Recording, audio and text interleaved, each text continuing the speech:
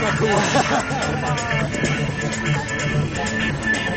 oh, 113 was the max I could want.